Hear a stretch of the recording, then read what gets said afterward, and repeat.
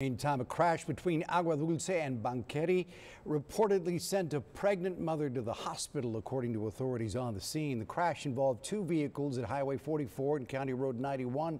Emergency crews arrived right around 3 o'clock today and had to direct traffic around the crash. Investigators said one vehicle had two women, one of whom was pregnant inside along with two young children. Now, the children are said to have been wearing their seatbelts. They're going to be okay.